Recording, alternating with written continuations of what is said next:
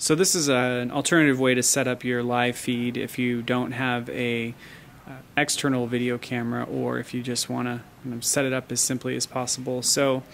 uh, you can see that we're using one computer that's facing the, the front as the camera and also as the audio source. So it will take in the, the external audio from the, the speakers um, into there as well as the images or the video from, from its camera. And then next to it you see the moderator who has a, a an additional computer to uh, monitor the back end of the live stream to make sure that the, the broadcast is going well, as well as um, monitor the chat and